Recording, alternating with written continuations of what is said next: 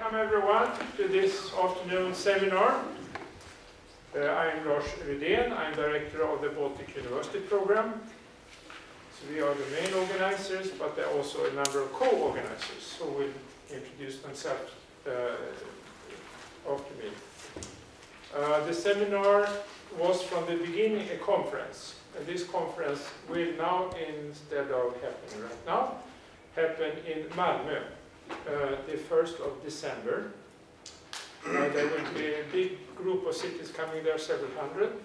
And we will, together with uh, several organizers, the Union of Baltic Cities, the uh, um, if you know this, the, uh, the um, Center for um, Industrial Environmental Economy, Lund universities, and the Climate-KIC, this is big European organization, organized then seminar on climate change and city management.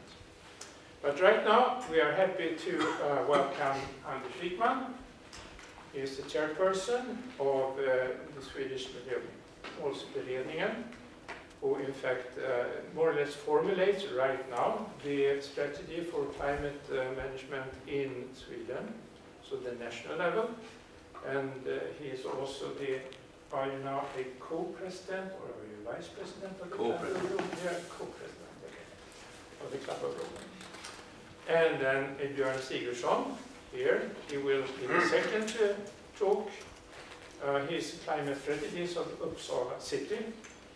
And this is one of the several cities in Sweden and the Baltic Sea region for Rotterdam, which has a very strong climate work. So very welcome. We will have these two presentations, there will be discussions, and then everyone is welcome to stay to have a glass of uh, something to drink and uh, something to uh, chew on and talk to each other after the seminar. Now, um, originally, the plan was for um, the cross-party committee on environment objectives, very strange uh, title in English, Miljömålsberedningen. The idea was that we should have submitted our re study report by end of May. Now uh, we are a bit delayed and we have, as a matter of fact, had negotiations among the members this very day. I took my bike to the center station at 5 to 2 and, and, and they were almost done so I had to leave as chair. Um, so I cannot tell you about some of the details in the proposal that we are going to launch, I think now on June 27th, but I will indicate in which direction we are going. Mm. And um, um, any talk about climate change should of course bring in to the picture a broader problematic. Um, the relationship between mankind and the human society on the one hand and little, this little planet we live on is uh, not only a question of uh, emitting too much of greenhouse gases. It's also a question of overusing or overutilizing a lot of the most important ecosystems. Um, and add to that a lot of pollution of different kinds. Um, and that's why some of the natural scientists uh, now uh, suggest that we should uh, declare the geological epoch we are in, that we are moving from Holocene, where we used to where we have been for the last 10,000 years. It has been a very stable period, not least with regard to climate system. And that we are now moving into Anthropocene, meaning that man is a very powerful agent on this, this small, small planet. Uh, three here stands for we are moving towards three degrees of warming. Six is uh, we are now involved in the sixth major extinction of uh, species, and nine should be a 10. Um, by the middle of this century, the UN mean, uh, suggests that population may be somewhere be between 9.7 and 10 billion people, um, which of course is a major challenge. Uh, there are people like Hans Rosling who normally say that's no problem because people in uh, low-income countries where most of the new citizens are born, they uh, have their footprint, carbon footprint is very low, so don't care about that focus on what's happening in the, in the rich countries. Um, and he's both right and wrong, of course. Right in the sense, yes, that our lifestyles, our consumption patterns um, make up the, the, the, large contributions to, to what we are now uh, uh, experiencing. But at the same time, of course, we want that every child who is born on this planet should have a decent standard of life, living. Uh, and that means, of course, eventually that the carbon footprint, demand for different kinds of energy, materials, water, etc., is going to increase. So to, to, to sort of neglect the population issue is, in my opinion, very short-sighted uh, and not, not, not really responsible. Um, in our work, where we have been given the task to develop a strategy leading up till the middle of the century, 2050. we, of course, base much of our uh, plans and actions on the IPCC fifth assessment report. and I just tried to summarize some of the main findings. Um, I, I, won't go into detail. Um, low latitudes will be nasty places to live. Uh, why, why is that on, on, on, on, this image? Well, I happened to meet with Jim Hansen um, when he was in Stockholm about a month before the Paris meeting in November last year. Uh, and he gave a presentation um, and he said that uh, apart from his uh, report that was uh, discussed widely in February or March about sea level rise. He said, I'm also coming out with a new report where we have tried to assess the changes in the average temperature during summertime in low latitudes. In this part of the world, you could say it's northern Africa, it's southern parts of, of Europe and, and the Middle East. And their findings, and it's not now being published, uh, is that the average temperature during summer in these low latitudes have gone up by almost 3 degrees Celsius over 50-year period. And then he added, these places will be very nasty places to live because it will simply be too warm and too dry to grow food.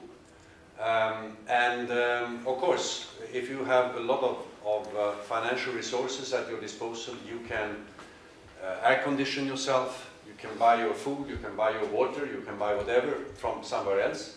And we can see now that there are indeed uh, a lot of rapidly expanding cities in the Middle East, of course. But for the average man, this is going to be very, very difficult.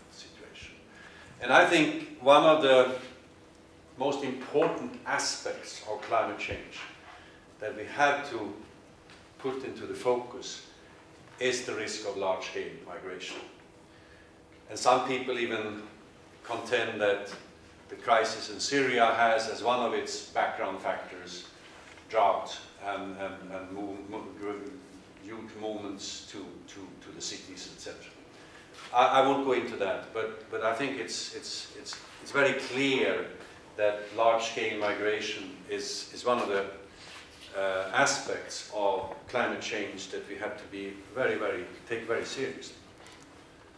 Um, this is another type of um, studies that we have as a starting point. This is from Schellnhuber at the Potsdam Institute. He's done a lot of research on so-called tipping points. And this one shows that uh, around 2 degrees or even below 2 degrees of warming, we have several likely tipping points. One is that coral reefs will more or less disappear. Summer ice in the Arctic is also likely to disappear. Um, the alpine glaciers will melt down. Greenland will start uh, accelerate its melting, etc., etc. And as you can see, you have around 4 degrees the Amazon, the risk of the Amazon rainforest turning from a, a very humid forest system to some kind of savanna. Um, and this again is, is one of the uh, problems that we, of course, try to focus on. Um, and we do it not only because it's important, but also because we have had an ongoing debate with some of the neoclassical economists about climate change and, and about how to, um, how to assess uh, the, the, the, future prospects, and, and, in particular, how to uh, assess costs in the future. Um, and I had a debate with John Hassler, the chairman of the Finanspolitiska rådet, the, the finance uh, political council, um, the other day, and you know they, they have a very strange way of looking at costs and benefits. First of all, they, they mainly look at costs, costs for doing things, measures, incentives, investments of different kinds to try to reduce emissions. They, they rarely look at the benefits. What are the benefits? And they don't look at the costs of inaction. So that's one of the problems. But the other problem is that when you start looking into their models, you realize that they do assume that there is sort of a linear relationship between the damage function in the climate system on the one hand and the temperature and we had a huge debate, and I said, but for heaven's sake, what about the tipping points? The, the climate system in, is non-linear in nature.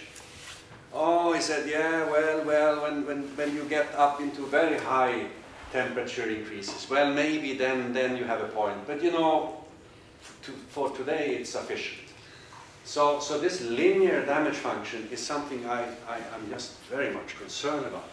And, and from that point of view, I think it's very important uh, when we try to describe sort of the, the entry points or, or, the, or the, what's underpinning our analysis and our, our suggestions is to, to, to look at this. Maybe some of these things are not very probable, but I think it's sufficient if there is a probability of 1 or 2 or 3% because the consequences are so huge. And one economist who has really got it and, and, and understood this is uh, uh, an American called Weitzman, who has written, written about the so-called fat tails, namely that, that you have events that are not very probable, but where the consequences are very, very serious, and that we have to take them very serious as well. But this is just uh, an illustration to, to, to, to, to sort of demonstrate that there is, of course, a, a very intimate relationship between addressing air pollution, not least in Asia, and addressing climate change. There, are, there, is, there is a synergy there. And incidentally, in our proposal that will be submitted in a few weeks' time, we are both suggesting a climate strategy and an air quality strategy for Sweden because of the synergies. Here is um, uh, a graph that shows that over the last 10 to 15 years, uh, there has been uh, a certain progress in the sense that the carbon intensity of the global economy has reduced, been reduced by almost 1% yearly. But here is what is needed to meet the two degree target. So we would have to six double or whatever uh, the, the efforts in the coming decades. Well, in December last year we had the Paris conference and um, depending on where you stand, it was a, a, big success or it was not a big success, something else. Um, but I think that, that most people, regardless of their more detailed comments, they agree that it was a step forward because 195 or 196 countries came together and at least on paper agreed on ambitious goals. Not only to, they continue to sort of say, yes, we have to avoid two degrees, um, and then they said, we have to make every effort to,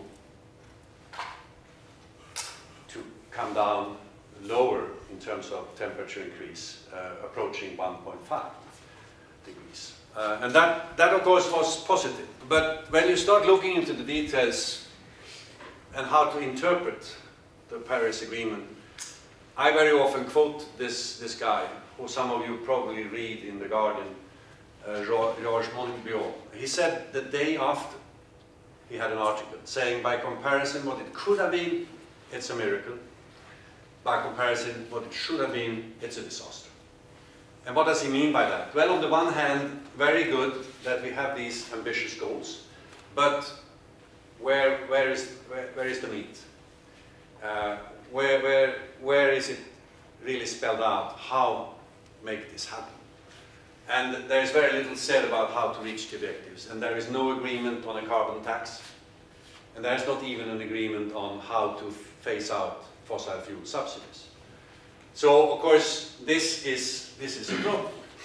So that's why we have to try to in, instill action wherever we can in different parts of the world. And we could add that a Republican victory in November could be a disaster. And here is the now remaining contender. I had another picture a couple of months ago when there were still three candidates, but now it's only this guy. And, this is what, uh, what, what he said a couple of, of weeks ago. Wind farms are a disaster for the environment. They kill the birds. They are very expensive in terms of energy, and they are made in China. Um, and he has since come out with a major energy speech about 10 days ago. And when you read it, it's a horror story. Basically, he says, we are going to have a revival of uh, coal, coal production. Coal is good for America.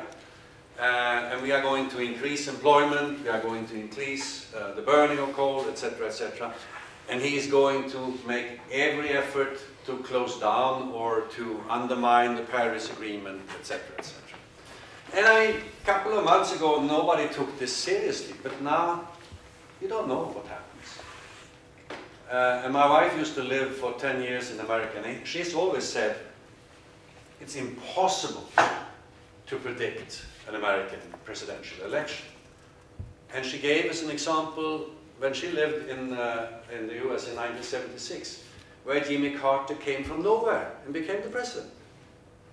Um, and this is just one, one example. Um, and the fact is that both Trump and Hillary Clinton are very little liked by, by the electorate. So you have a lot of um, yeah, question marks what's, what's really going to happen. So uh, we may, up, may end up with Trump, um, and we may end up with other leaders in other parts of the world which, which are not going to make it easier. Another way of looking at uh, Paris is, of course, to see how, how much emissions of greenhouse gases can we still emit while still staying within 2 degrees or 1.5 degrees. Well, it depends on what probability you, you are looking at. Normally, scientists say, okay, well, we can emit another 1,000 gigatons of carbon dioxide equivalents. Um, but then you should be reminded of the fact that it's only the probability that then is only 66%, two-thirds. If you want somewhat higher, they say, say three-fourths or 75%, it goes down to seven or 800 gigatons. And 1.5 degrees I mean, it's six, seven, eight years of present level of emissions, and then it stopped. So, so this shows that, that to do this is, is going to be very, very difficult. And I should add that for most of the so-called two-degree pathways that the IPCC have developed to sort of demonstrate how could the world go from where we are to, to below two degrees in the next 50 to 100 years. They include a lot of so-called negative emissions. And negative emissions is really to, to take out not fossil carbon, but biomass-based carbon out of the atmosphere. And most often people talk about it or refer about it in, in the sense of bio-CCS, um, which means that you, uh, you, you burn a lot of biomass um, and then you capture the carbon and then you put it somewhere in the ground. And we are talking about huge volumes. We are talking about doing that for decades, on and on and on again, on an area larger than India. So, uh, however you look at it, uh, this is going to be very, very tough. And one of the conclusions I've drawn is that the sooner you can reduce emissions, the less dependent you are on negative emissions. And that, that is probably very positive for, for the planet and for our societies. So given, given these rather maybe gloomy pictures, still there is a spirit right now that seems to be optimistic. The use of coal is shrinking, not everywhere, but in some places. Investments in renewables, in particular in the power sector, are increasing. But in the transportation sector, still gasoline and diesel is totally dominating. Uh, we have a lot of big companies who are very positively engaged. We had hundreds and hundreds of city ma mayors in Paris. Uh, that was, according to people who participated, probably the best meeting of them all. A very positive spirit, and uh, 70 to 80 percent of all the emissions in, in the world originate in, in urban areas. So it makes sense for, for mayors to be, to be very concerned.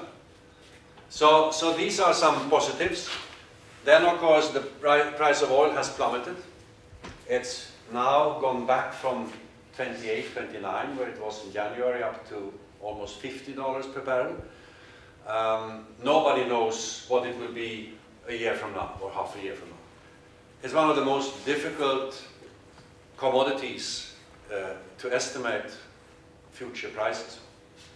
And nobody has been able to explain to me how it could go from $147 per barrel to 40 in about three or four months uh, a couple of years ago. Um, supply and demand, yes, but there are also other factors at play. Um, political factors, Saudi Arabia versus Iran, Saudi Arabia versus uh, Russia, Saudi Arabia versus shale production in, in US, etc. It's very complicated. But what is interesting, and if Tomas Kåberger, who is a world-leading expert on the energy system, and if he was here, he would say, I wouldn't uh, look upon the low price as a problem. I would see it as the opposite. Because eventually oil and gas companies, like coal companies now, will run into serious problems because they will not be able to continue invest in oil and gas exploration and at the same time pay the dividends that their shareholders are used to. And this means that the whole sector will probably start to retract. Um, this being said, on the other hand, if you look at the statistics over the number of cars being sold over the last two years, for instance in Sweden, gas guzzlers are on the rebound again.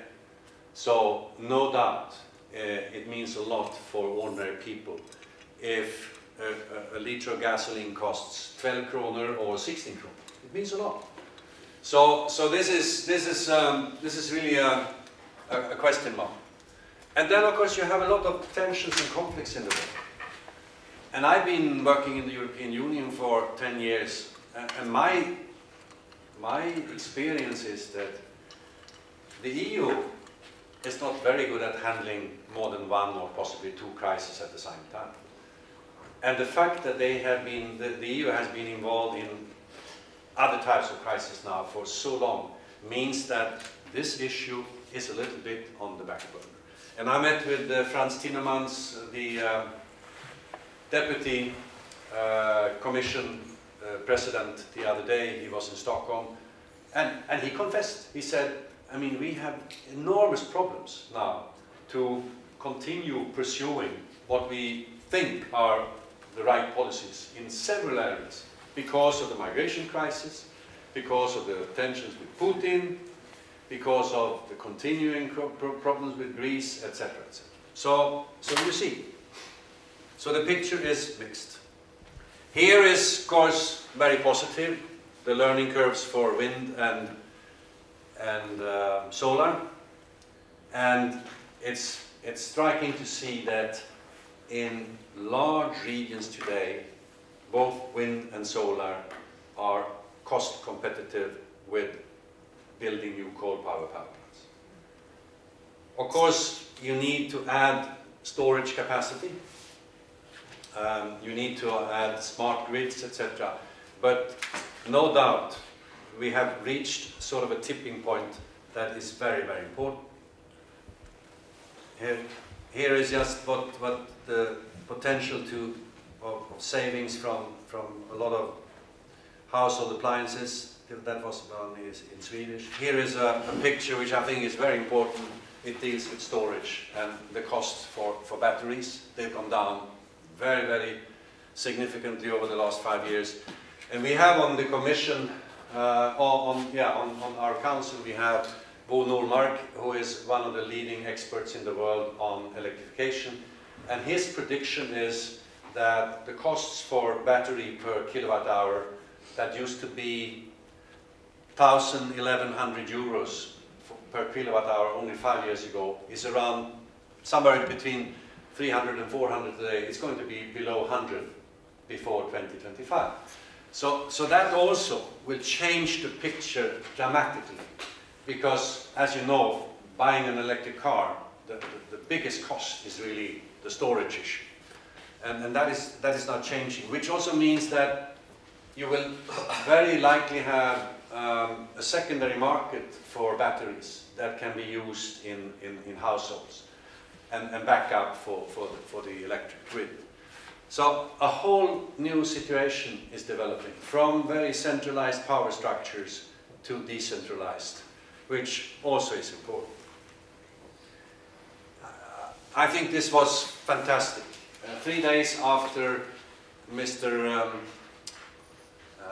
Elon Musk announced his uh, uh, Tesla 3, um, the Model 3. Uh, three days afterwards, 276,000 people had listed that they wanted to buy the car, but they had also paid $1,000 each to be on the waiting list. Quite an intelligent way of, of financing your company. But that, this just shows what what momentum there is, although we still only have about 1 million electric cars in the world on the roads. Uh, here is um, from uh, Bloomberg Energy um, an estimate how much oil that will be removed from the market, from demand in the beginning of the 2030s because of electrification of passenger cars. Around 13 million barrels a day, and that's a lot. That's a lot. So that just shows that also those who really predict from a financial point of view what's going to happen, they believe this is going to happen. Here is another very positive thing. Uh, in the world, the estimate is that we need roughly 90 trillion dollars of infrastructure investments till 2030. If it's done the traditional way without taking into account the climate risks, the cost is 89 trillion. If we take into account the climate risks and invest in climate smart technology, whether we talk about transportation, buildings, etc., the added cost is only about 3-4%. And I think this is, this is very telling. And this is, this is done based on conventional economics. Because the benefits here are so many. Cleaner air, uh, less climate risk, um, and of course also lower running costs. Because when you invest in alternative energy, in particular solar and wind, etc., you invest in the technology, in the equipment, and then the running cost is almost zero, which is the opposite from, from, from conventional energy. Now, the Swedish task force that I'm chairing, we have already put a proposal on the table a few months ago. We suggest that we enact a climate law, and we have been very much inspired by, by the Brits. Um, and we, in fact, we went to London for a seminar with the Climate Change Committee in the UK, and many of my members were very skeptical when we embarked on the plane.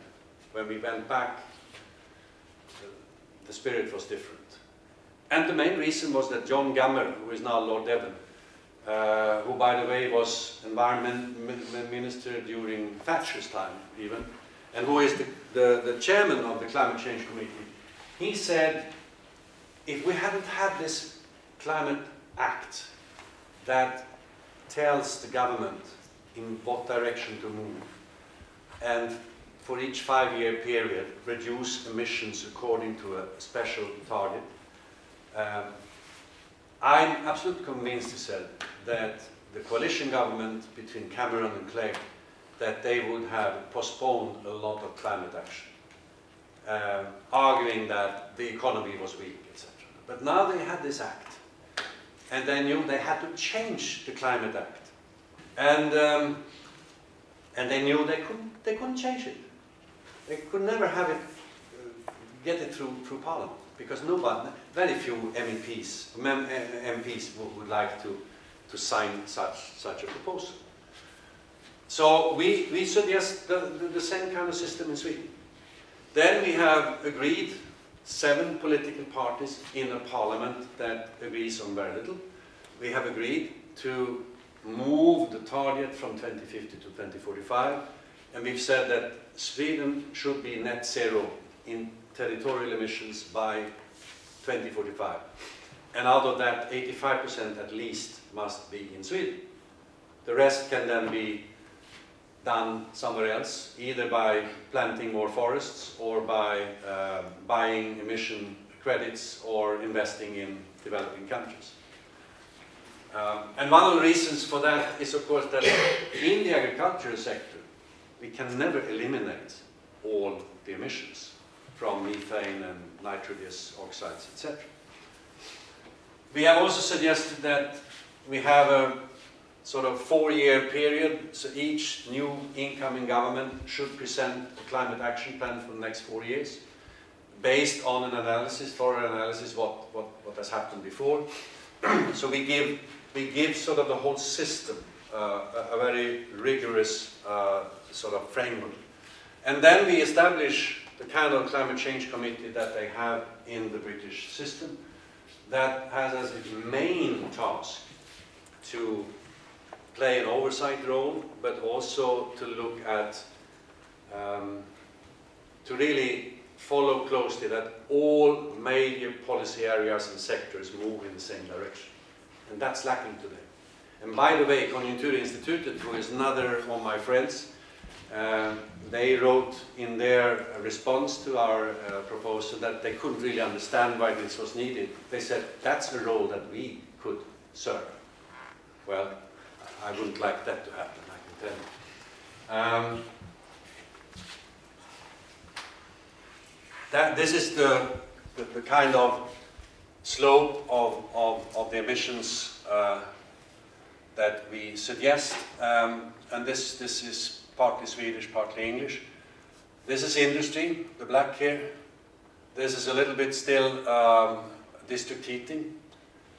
This brown is transport. And as you can see, we assume that transport will be zero in terms of carbon emissions, well ahead of 2045. Then we have some agriculture left and, and a little bit else. So, so this is how we envisage this, uh, this to happen. Now we are going to submit the final proposal end of June with a lot of detailed measures and incentives. We are going to agree on targets for 2030 and beyond. Um, and we are going to have specific focus on industries like steel and cement, where we have large emissions today and we don't see technologies around the corner that will eliminate them. Uh, transport and mobility, of course, agriculture, the energy sector, the forest sector. And then, of course, we, we will have, I hope, an intelligent discussion where we compare territorial emissions, what's happening physically in Sweden, consumption, we import a lot of embedded carbon, and then we also export quite a lot of things that we produce in a climate smart way. And as long as those things are needed in the world economy, it wouldn't help the climate if we closed down factories in Sweden, rather the opposite. But we have to sort of try to balance all these perspectives. And this one, the territorial emissions, there we, there we have control. On the two others, we don't have the same control. And then we are also focusing a lot on horizontal issues like material efficiency. And you may not believe it, but material efficiency has not been a priority in climate policy making so far. So the whole, the whole discussion now on circular economy has been nowhere from the point of climate. Um, and yet, we have focused so much on energy, but energy and materials are two sides of the same coin. And if we use materials more efficiently, if products, consumer products last longer, if they are designed so that you can reuse and recycle in a better way, uh, if you can remanufacture things, etc., you save a lot of energy. Um, and you have less mining, but you have a lot of other activities. And such an economy is, I think, very interesting. And I, as a matter of fact, I brought a few copies of a study we did in the Club of Rome, focusing on five European countries, looking at, on the one hand, the carbon effect of moving towards a circular economy, but also the employment. I, I have always been arguing in favor of more long-termism in both the political system and the economic system. But here, when I'm given the task to look 35 years ahead, I realize how difficult it is. Because there is so much change happening. In particular, all these disruptive technologies. Digitization, nanotechnology, biotechnology, neurosciences, etc. And to anticipate what those technologies mean for society in the future and for policymaking in this area is not easy. And there is, in fact, a rather great risk that we propose things that look very stupid 10 years from now. So how do you remain the flexibility? Then, of course, another issue is what about the rest of the world? And when I talk to people from the finance ministry, they say all the time, well, if the rest of the world moves in the same direction, okay, but if they don't, because then what we are suggesting is going to be much, much more difficult. Both because we, got, we are not going to benefit from the same uh, innovations from other parts of the world. I mean, look at the, look at the Germans and solar energy, or the Danes and wind, wind energy. They took, they took the upfront costs, and now they share that technology at much lower cost with the rest of the world. If that won't happen in the future to the same extent, our, our transformation is going to be more expensive. Price of oil is also a big question mark. And then we have some rules at the EU level when it comes to energy taxation and state aid, and I won't go into details, that are rather troublesome. And one of the reasons we have not seen the development of the second generation of biofuels that many of us have been asking for, using residue materials from the forest industry, lignin, etc. Why, why we don't have them? It's simply because it's too risky for big companies to invest in such biorefineries. They cost maybe 5 to 10 billion, uh, no, 500 to 1 billion uh, euros to invest in, at least for the first couple of biorefineries. Uh, and, we, and, and, and the, the, experts know exactly what to do and how to do it. but they say as long as we don't know about energy taxation and the rules of the game 10, 15 years from now, you cannot expect us to do it. In particular not when the price of oil is what it is. Then, well, I've already said that, a division of responsibility, that's also a very tricky issue. And Björn, you are going to talk about the community perspective. Who is doing what? And, and, and what about rule, rule making at different levels? Uh, for instance, uh, a municipality in Sweden cannot impose a tax, for instance, on uh, local traffic. They cannot impose a tax on uh, using uh, ett dubbdäck, um, um, st st tires with the... Huh? Yeah, okay. Uh, there, there are lots of things where, where municipalities are prevented from doing the right thing. Um, so we have, I hope, a rather intelligent discussion in, in the report where we look at who is doing what. And in particular with the aim of handing over more responsibility and, and right to decision to, to the local and regional level. Another very troublesome thing has been the finance, finance sector, who has not given much consideration to these issues in the past. Change is now happening, and it's happening quite fast, but I think we need regulation. We need to uh, demand from all financial institutions, and in particular those who um, manage funds for the longer term, to, to, to report on the climate risks in their portfolio. And we also need uh, to take a look at how to mobilize more funding for long-term sustainability investments, where the rate of return is not going to be 15, 20%, that most of the people in that sector seems to be used to. It's going to be lower rates of return, but it's going to be a steady rate of return. And there are certain uh, provisions within the financial sector. For instance, oh, the AP funds, they can only put 5% of their assets in non-listed companies. And most of the interesting new companies offering sustainability solutions, they are not listed.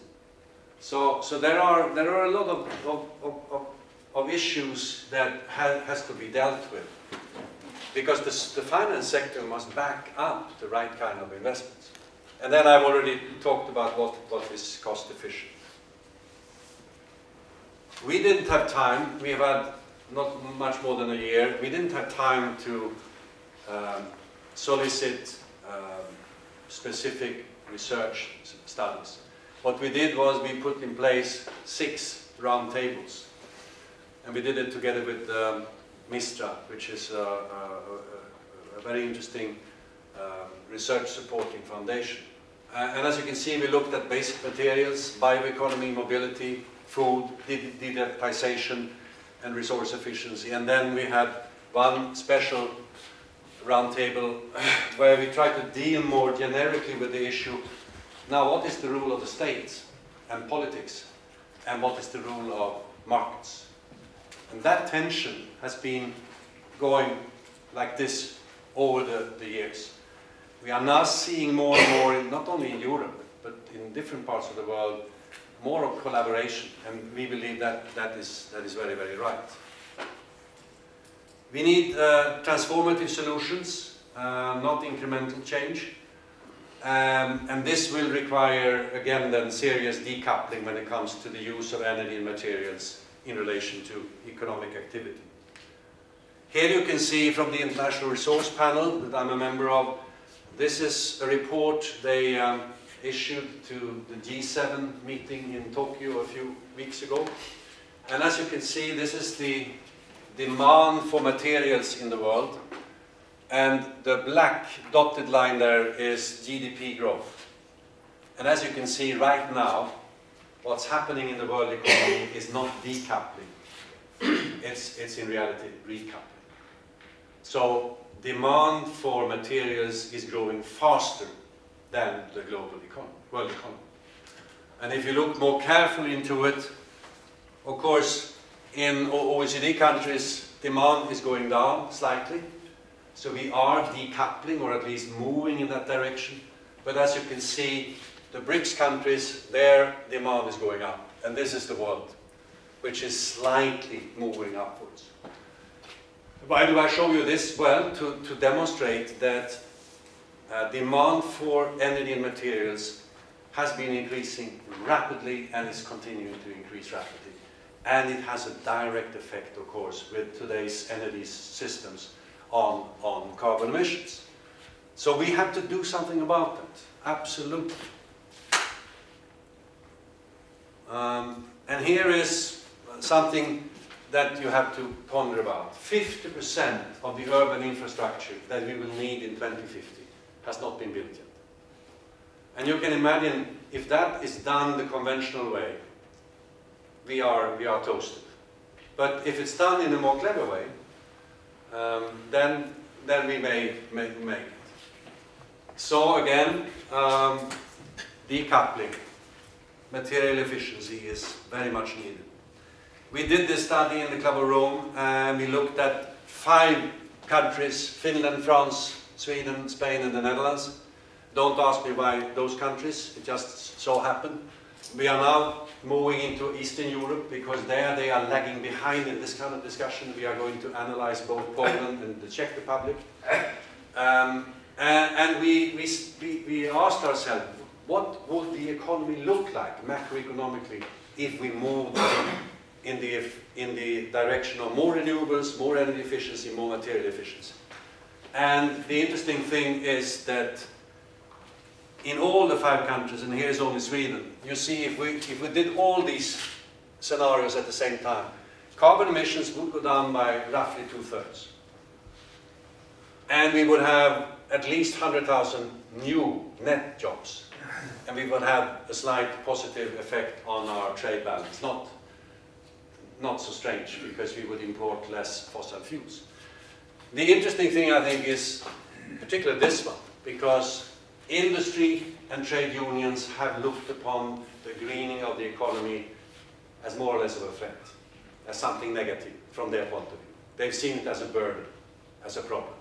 Here you have a study, and there are more studies like this from Ellen MacArthur Foundation, from McKinsey, that shows that there is a positive employment effect. And it's not, it's, it's, it's, it's, very, it's very logical because uh, an economy which maintains and uh, cares for what we already have produced is more of a service economy. And uh, that will require more manpower than more or less automated manufacturing. So I'm, I'm not surprised. Now, then finally, priority areas for the climate action strategy in Sweden.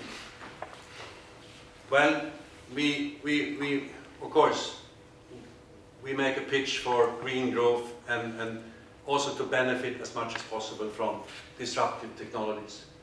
And we believe there, is, there, is, there are lots of interesting areas of interface between the new information economy and lower carbon emissions. But you need policy frameworks. For instance, um, driverless cars, which uh, a development that is coming very, very rapidly. Unless you have a framework within the cities that really make this positive for everyone, it can also be the opposite. Um, we believe we need to be very proactive from the government's point of view uh, in supporting R&D and innovation. Transport and mobility. We are suggesting that support should be forthcoming for electrification, for smart biofuels, and then of course uh, we don't know whether hydrogen will be an alternative, it may be, so we shouldn't pick the winners. It's interesting to note that in Japan, they are not going for electrification, they are going for hydrogen. Well, they call it electrification, but, but anyway, it's, it's, another, it's another way of, of addressing the problem. Um, but we are very, very confident that if the government puts in place the right incentives for electrification, for smart biofuels, and for maybe hydrogen, in 2030, 2035, we could, in reality, be more or less independent from fossil fuels. We cannot think away all the cars that have already been bought or sold. And that's why we are suggesting so-called drop-in uh, fuels, that, that you can mix gasoline and diesel progressively with, with smart biofuels. But they must be smart. It's not a question of, of turning wheat or, or corn into ethanol. It's a question of really producing uh, uh, biofuels that, are, that really give you a, a climate benefit. Of course, city planning is going to be very, very important. Uh, we are going to build maybe 1 million new apartments during the next 10 to 15 years. How that is being done is going to be very, very important.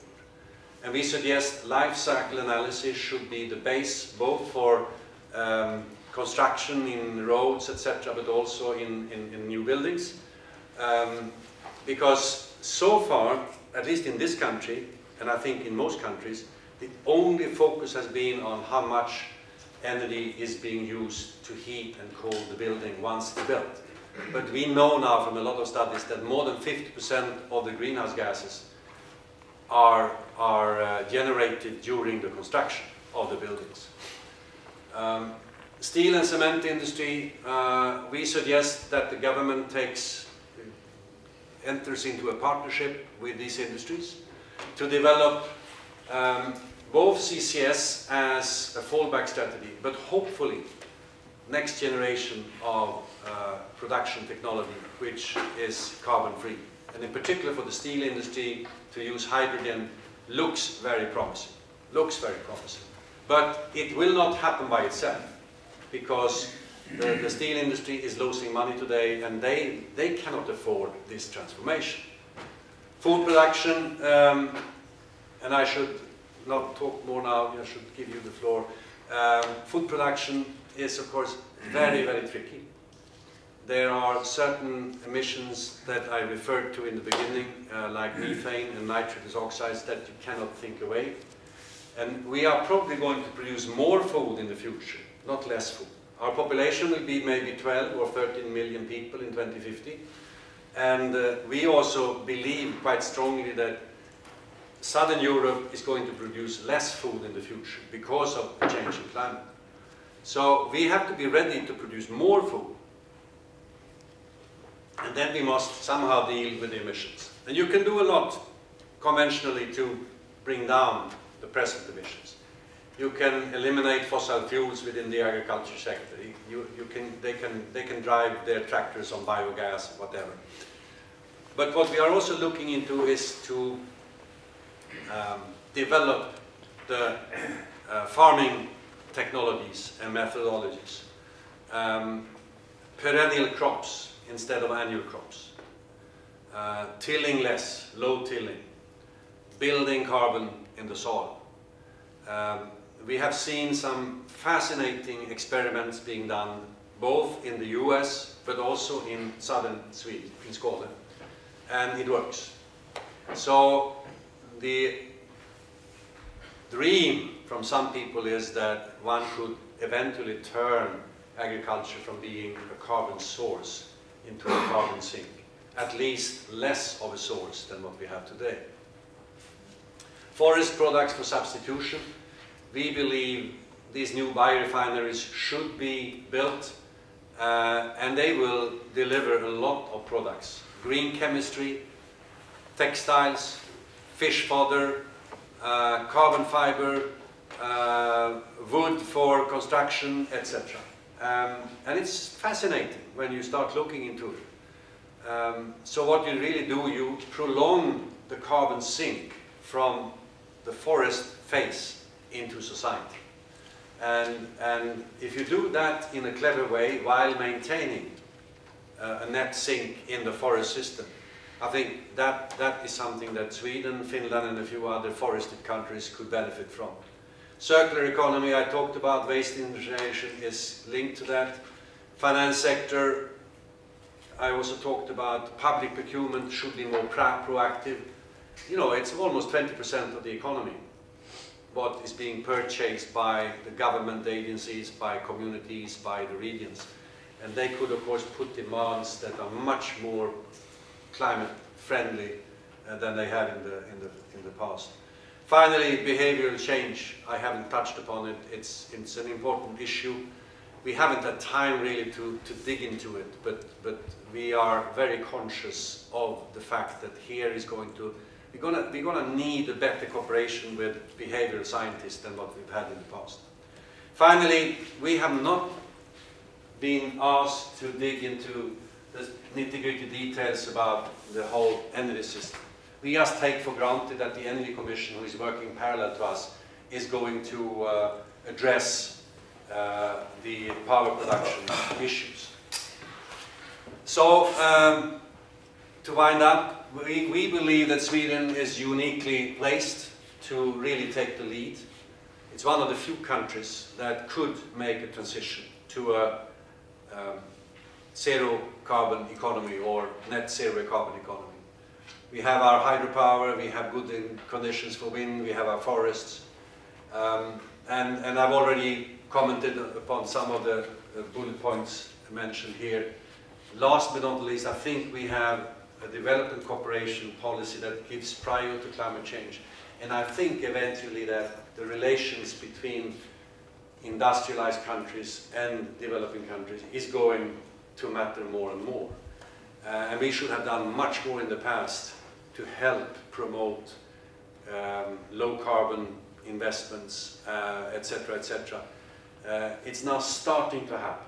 Um, albeit with too little money and too little funding, but it's starting to happen. And I think the fact that the government in its reshuffle the other day made Isabella Lövin not only Minister of Development Cooperation, but also for international climate policy, I think that, that was a clever, clever um, move. And it demonstrates the, that, that this government is serious about reaching out in a better way and that the international dimension of this is very important. Thank you.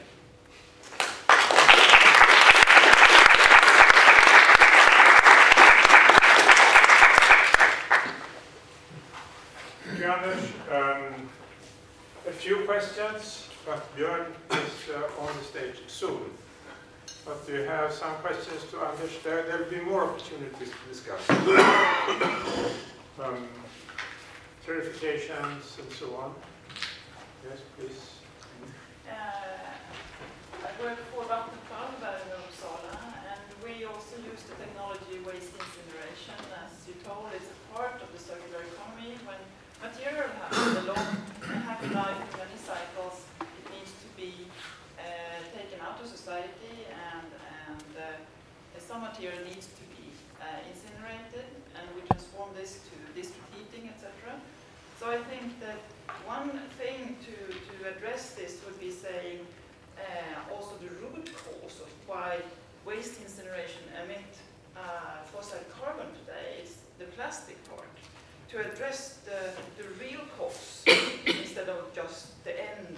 Uh, so we need to go from, from solutions in the end to go upstream and address the, the root cause.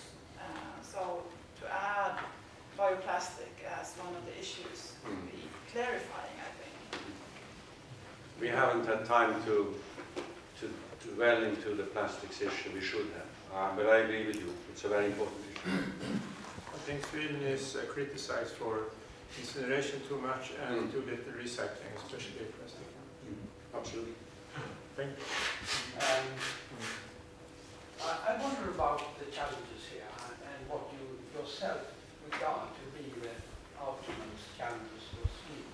I, I could imagine you wrote the finance sector must be forceful, and the question is, isn't it so that the finance sector must be forced to good, and if so, how? And, and another challenge, of course, is the political support. Uh, I mean, when it really comes to uh, transformation, do you feel sure that the public will support it?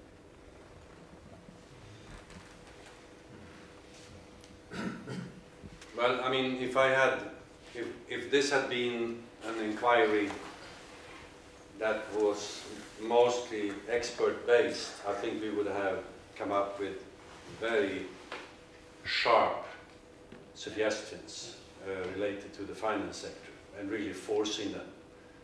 Now we are a cross-party committee and the aim has been really to, to put in place a platform for agreement so that we knew that this will stick in the years to come. So, and then by definition, it has not been really possible to dwell into the details, unfortunately. But I, I, I think you're right. And I think that the big mistake that was made in the 1980s was the deregulation of the finance sector without really thinking through the consequences.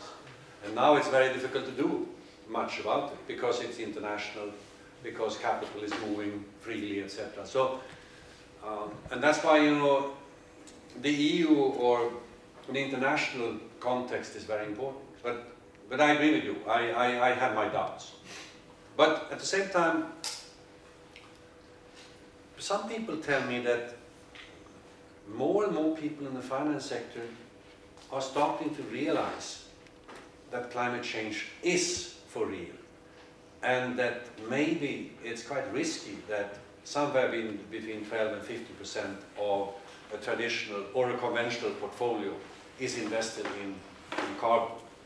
So things are happening and uh, I don't think we can really anticipate these tipping points. All of a sudden, who, who thought five years ago that Vattenfall and E.ON would be companies losing a lot of money? They were, they were earning a lot of revenue and profits. So, so things do, do change. Secondly, will the public accept? I think it's very much a question of A, um, promoting a dialogue about this, uh, and B, um, managing the economy in a way that, that people don't feel threatened. Because I think when people are threatened, they tend to look for easy solutions. And then you have Trump, Trump and others who, who present these solutions gladly. And I, I read an article in the New York Times yesterday saying that the best prospect for Trump is not a major crisis, rather small crisis. Um, a lot of problems all the time, uh, uh, instilling uncertainty among people. So I think leadership is going to be very important, very, very important. And in Sweden, I would think that a broader based government would be the best thing we could have. This idea that either the green, uh, red-green coalition or the alliance would, would, would have their own majority, I think it's uh, very unrealistic. So um, the sooner the better if, if we could have a broader based government.